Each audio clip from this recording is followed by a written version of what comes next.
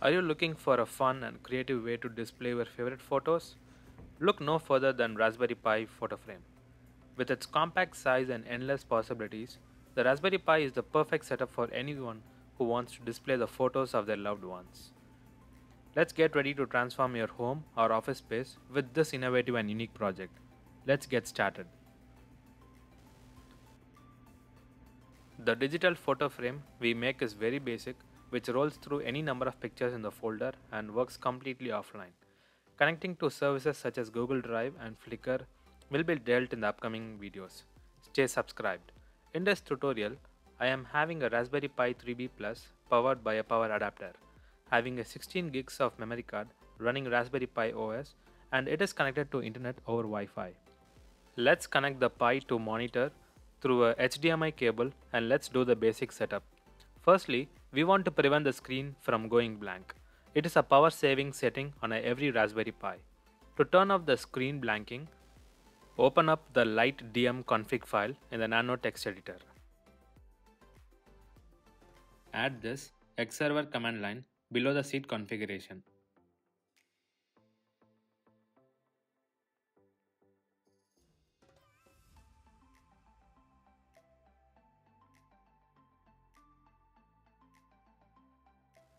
Save and exit by pressing Ctrl O and Ctrl X. Now reboot the Pi. Now the screen should no longer switch after 10 minutes of inactivity.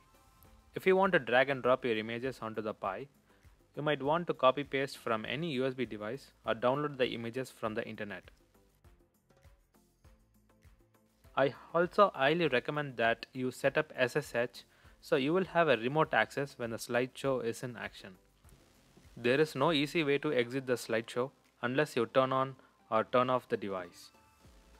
To set up our slideshow, we are going to use FEH package. FEH is an image viewer and cataloger. It is a fast image viewer that doesn't get bogged down with the huge graphical user interface dependencies. I chose this as it was one of the most lightweight package that worked without any huge complications. To install the package, use the following line.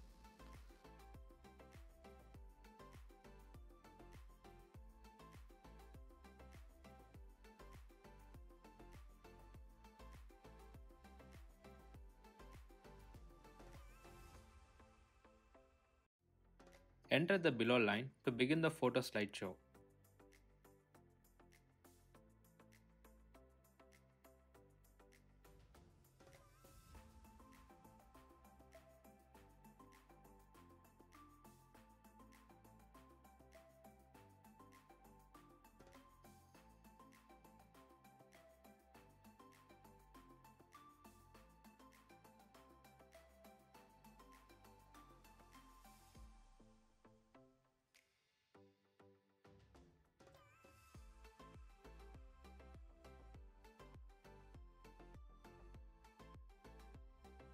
Type the directory that contains all your image.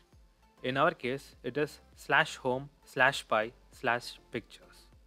Here you go, all pictures from the folder will run like a slideshow.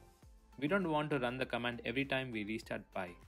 So let's automate this process by creating a script.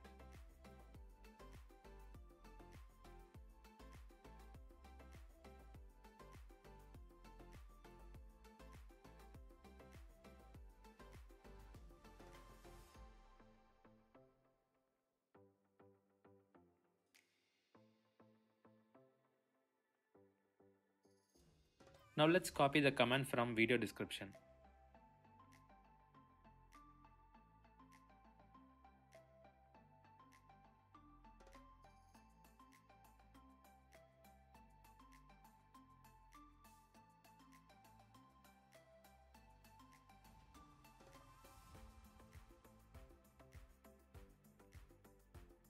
Now we can use short tags to make this command as a lot shorter. Q means quiet, which doesn't report errors when something is not loading. P means preload. This option would load all images at first and eliminate any images which can't be loaded. Z means randomize. It randomizes all the images before displaying. F means full screen. Larger images will be scaled down to fit the screen. R means reload. It reloads the file list every X seconds.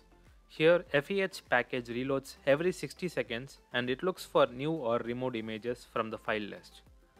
Y means hide the pointer or cursor. D means a slideshow delay. It waits X seconds before automatically changing the picture. In our case, we want a picture to change every 15 seconds. You can go through more options on FEH package and the link is mentioned in the description below.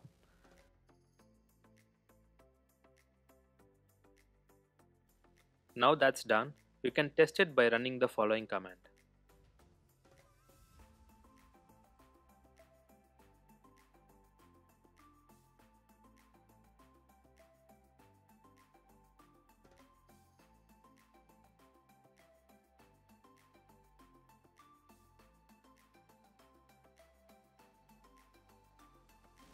Finally, let's have the script start at every boot. To do this, open up the RC local file by enter the following command. Add the following before the exit 0 line in this folder.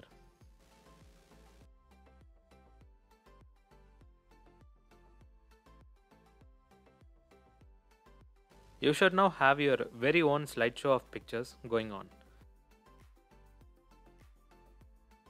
Now let's connect the Raspberry Pi to LCD display and see how it works. The Raspberry Pi has a small connector for a 15 pin ribbon cable which supports the display serial interface. And this allows a high speed communication between the LCD screen. At the moment, the best display to use with this connector is the official Raspberry Pi 7 inch touchscreen which supports a 10 point capacitive touch. Connecting up the display is fairly straightforward it is designed so that the Pi can be mounted on the back of it with all the cables tucked away nicely and neatly. To connect your display, follow these steps. Make sure Raspberry Pi is powered off before wiring. To avoid any damages to electronic board. Attach the Raspberry Pi board to the back of the display using the screws and standoffs provided. Carefully connect the ribbon cable to both the Pi board and display control board noting the orientation of the ribbon cable pin. Don't break it. Be sure to carefully release the tabs on either side of the socket which allows the cable to slide in all the way then secure it by pressing down on the tabs until they lock in. You shouldn't have to force the cable. To power the display, you can do one of the following. Connect the red and black jumper wires from 5V and ground terminal of the Pi to the control board. Wiring is as shown in this picture.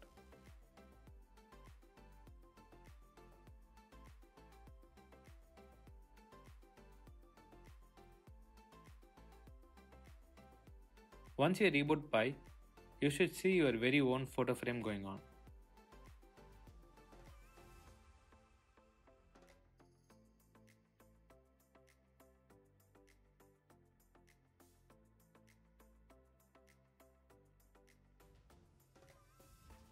Now let's check some of the issues I have faced while doing this project.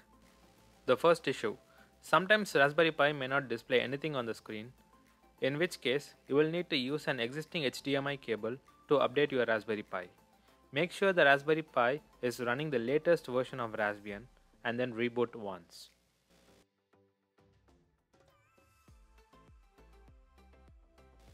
Another common issue where people get while trying this project is picture appearing upside down. So how to rotate the screen? It is simple. Go to menu, look for the screen configuration, change the orientation, click apply.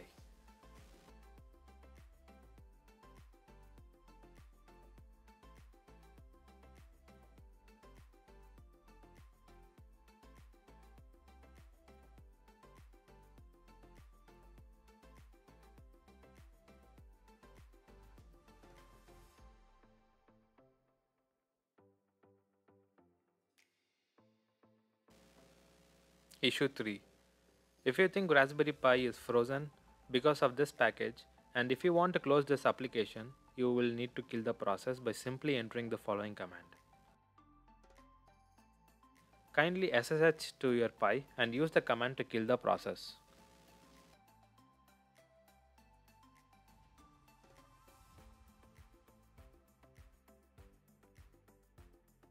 I hope your photo frame is working correctly. If you have any trouble or have an extension that you would like to share, please leave your comments below. As always, if you like my stuff, please follow my YouTube channel. Until next time, check out my other videos. Thank you for watching.